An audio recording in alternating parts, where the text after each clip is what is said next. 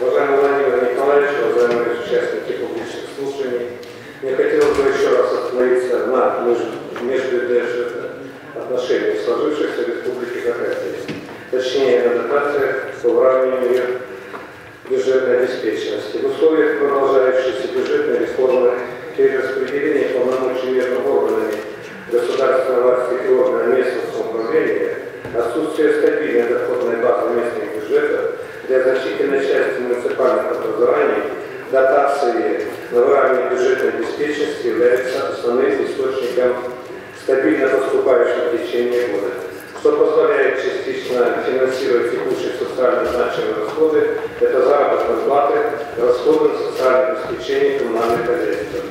Собственно, доходы бюджета муниципального образования Шеверского района запланированы на 2017 год в объеме 206 числе дотация на выравнивание бюджетной обеспеченности из республиканского бюджета 132 миллиона, что на 89 миллионов рублей меньше расчетной потребности в расходах на исполнение собственных полномочий, возложенных на районный бюджет действующим законодательством. Данная позиция нарушает один из главных принципов бюджетного законодательства. Это сбалансированность бюджета.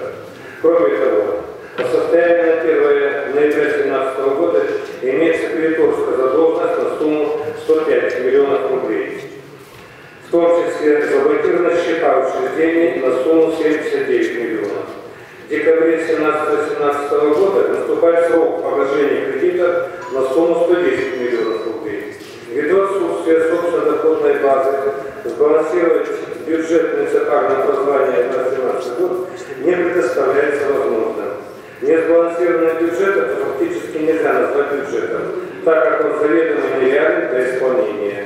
Это приведет к задержке финансирования выполнения муниципальных заказов, возникновению проблем неплатежей муниципальных образования. С учетом вышесказанного, по в данных экономических условиях необходим кардинальный пересмотр действующей системы межбюджетных отношений, который должен начаться пересмотра существующей системы предоставления дотаций на выравнивание бюджетной обеспеченности. Распределять дотации необходимо в соответствии с